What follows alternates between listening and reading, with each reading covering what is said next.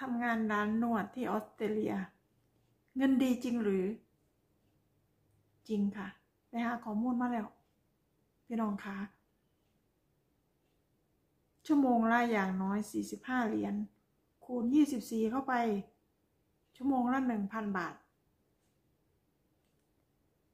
คนที่นี่ นิยมนวดมากร้านนวดนี่เฉพาะเฉพาะอยู่ใน อยู่ในห้าง แต่ที่นี่เขาห้างห้างใหญ่เนาะมีซูสันพี่น้องคะร้านนวดนี่มีเยอะมาก เยอะพอๆกับร้านเสริมสวย เสริมสวยก็คนก็เงินดีนะคะ ต่อขนตา ที่นี่นิยมมากทำเล็บ ทาเล็บ ทำเล็บ ต่อเล็บ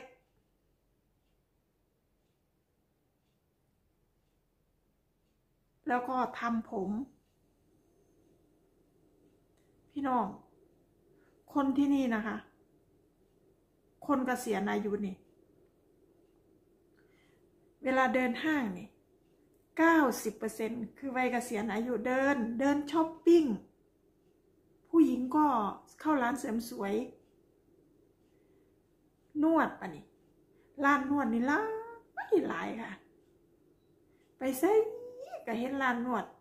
ไทยมัสสาไทยมัสสาเนี่ยหลายคือกันนวดเหมือนกันไหมกับเมืองไทย ที่นี่ก็จะเป็นจะเป็นอีกอีกสไตล์หนึ่งแล้วอ่าอาชีพนวดเนี่ย ที่นี่เขาก็สอนนะคะ หลักสูตรสองปีเลย ที่ที่ที่เทปเนี่ย เทปก็จะเป็นคล้ายๆวิวิทยาลัยเทคนิคอาชีวะบ้านเราเนาะคือสอนอาชีพ เป็นโรงเรียนสอนอาชีพ ถ้าคนที่วีซ่าผ่าน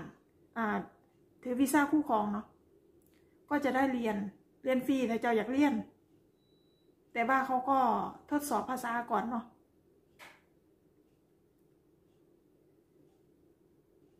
ถ้าสาวสายฟอเนาะถ้ากำลังคุยกับกับฝรั่งคนออสเตรเลียนะคะมาหนีเนี่ย ถ้าถ้าถ้าได้มาอยู่อยู่ออสเตรเลียเนาะพี่น้องจะสิจบยังมากก็ตาม เขาบอคือคุณจบวุฒินู่นนี่นั่นนั่นเสียนะยากมากที่จะทมาทำงานตรงตามวุฒิการศึกษาที่คุณจบมา หมอนวดทำทำทำร้านนวด อันดับหนึ่งนะคะรายได้เนาะคนที่นี่นิยมนวดมาก ถ้าเฮาเรียนหนวดอยู่บ้านเฮาฝึกฝีมืออยู่บ้านเฮาเป็นแล้ว มาที่นี่ไปสมัครงาน เขาก็จะเทสมือ ถ้าถ้าเขาจะให้เราทำงานตามแบบที่เขาต้องการหมายถึงลักษณะงานการทำงาน การนวดของของคนออสเตรเลียเนาะเขาก็สิสอนเขาเพิ่มกันสินะคะ ฉันยังอยากทำเลยว่าก็บอกซะอันนี้ก็เท่าแล้ว ไปสมัครเขาก็บอเอาดอก เท่าแล้ว มันต้องใช้กำลัง เขาบอกว่าคนที่นี่นวดหนัก หนักกว่าที่บ้านเรา ค่ะ แล้วก็ เป็นแบบว่าหางานง่ายอย่างสิไหมคะหางานง่ายเป็นงานอิสระ เป็นงานอิสระก็ได้ คุณไม่อยากประจำร้านนั่นเสียคุณก็ไปดิวกับร้าน เขารู้ฝีมือคุณพอเขาขาด คอเขาขาดคน เขาก็โทรเรียกคุณนั่นสิไหม เป็นนักสั่นค่ะ รายได้ก็จะเป็นแบบแบ่งแบ่งคนละครึ่ง คนละครึ่งกับกับทางร้านนั่นสิไหมคะค่ะได้ได้แท้ละค่ะ ได้แท้เขาว่าเขามาเห็นงานหนวดยวนออสเตรเลียรวยนั่นเสื้อเขาลดได้แท้ค่ะ อีกอย่างมานี่สำคัญมัน ภาษา ทุกวันนี้มันก็มีมีแอปแปลแปลภาษาเนาะว่าเราแปลงเสร็จมันก็ช่วยได้อยู่ แต่ว่า ในสถานการณ์จริงเอาง่ายๆ วันนี้พากันไปช้อปปิ้งกระซื้อน้ำมันขวดใหญ่ขวดละเท่าไหร่อะขวดละสองหรือสามลิตรนี่แหละ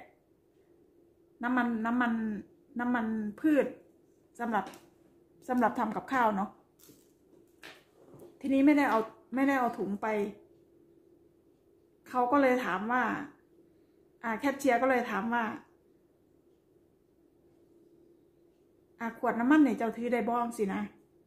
คือไม่ต้องใส่ถุงนะเขาก็เซฟเซฟค่าใส่ใจซอยเฮ้านะซื้อซื้อที่นี่เขาไม่ใช้ถุงพลาสติกแล้วนะ ในห้างเนาะถ้าเราไม่ได้เอาถุง เอาไอ้ถุงสำหรับซื้อของช้อปปิ้งของเข้าไปนี่ เราก็ซื้อถุงกระดาษของเขาจังสินะคะฉันฟังบรรลุเรื่องพี่น้องคะมันจะมีคำว่า แค่หลีแค่หลีแปลว่าหิวแปลว่าถือ พี่น้องเอ้ยสำเนียงบานเพิ่นนะนะแล้วเราเป็นคนที่ภาษาเราไม่ค่อยนั่นอยู่แล้วเนาะแฟนก็ไม่ช่วยนะ เขาอยากให้เรานี่ ฝึกฟังแล้วเข้าใจด้วยตัวเองสิแม่ ไปน้ำกันนั่นละแล้วก็ยิ้มเซยเทียที่สามเราจังบอกว่าเราจังตอบเขาว่า อันเหยียดบันียางออกมาจ่ายเงินแล้วๆนะเราเรื่องตลกให้กันฟังบ่บ่อายหรอกพี่น้องเราความจริงบ่อาย ไม่อายค่ะ เพราะว่าเราไม่รู้จริง ๆ อันเลยถามเพิ่นนะว่า อัน แคชเชียร์เพิ่นบอกยังได้ว่าจังซี่ล่ะแล้วเลยว่า เขาถามเจ้าว่าเจ้าสิถือบ่ถือเอาบ่อันขวดน้ำมันนี่บ่ต้องใส่ถุงจังซี่นะเพิ่นเลยแซวนะป้าขนาดเจ้าไปเรียนเนาะเจ้าไปเรียนภาษาสัวทิศเนาะปะนะเฮ้ยอีฉันกับหัวว่าซั่นล่ะค่ะ พี่น้อง ภาษาสำคัญสำคัญ ภาษาอังกฤษ ถ้าว่าโอ้ยไปมีแอปแปลภาษา ง่าย ๆ ไปได้ทั่วโลกสิ แม่นอยู่ค่ะ แต่ในสถานการณ์จริงไม่มีใครเขามานั่ง อันคำนี้เด้ออันสะกดมีตัวนี้ตัวนี้เด้อเสียไม่มีค่ะ ไม่มี พุ่นชัวเฮาสิงวกหาโทรศัพท์ไปหอดไซหรือปุ๊จริงค่ะ พี่น้องค่ะ เขาบ่ได้มานั่งสนใจเจ้าเด้ เอาง่ายๆ แฟนนี่เพิ่นเป็นคนเอ็กเซนบ่ได้เลย เขาเป็นคนออสเตรเลียโดยตรงเลย โดยกำเนิดเลยค่ะ พี่น้อง ขนาดเราเว้าอันแปลภาษาใน Google ไหมแล้วเว้าจะว่าจักเทีย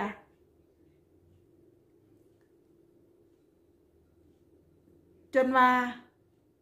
จนตัวเขาเองนะยังงนงิด คือคือมันไม่ได้ไงคะแปลออกมาแล้วมันก็ประชัยอย่างสินะหรือแม้กระทั่งถามทาง GPS เนี่ย เราปัก GPS ไปเนี่ย GPS เนี่ยของ Google เนี่ยเขาถามตรงนี้ตรงนี้จนแบบว่าระบบมันบอกว่าให้บอก address ให้ให้บอกที่อยู่ เพราะว่าเขาฟังบรรลุเรื่อง GPS ฟังบรรลุเรื่องพี่น้องคะนั่นแหละ มันก็จะเรื่องสิเว่าพี่น้องเอฟซีท่านใดอยากรู้เรื่องเกี่ยวกับอะไร ถ้ารุณีรู้ พูดได้ก็จะเอามาเล่าให้ฟัง คอมเมนต์ใต้คลิปค่ะ ขอบพระคุณทุกท่านที่เข้ามารับชมนะคะ เจอกันใหม่คลิปหน้า สวัสดีค่ะ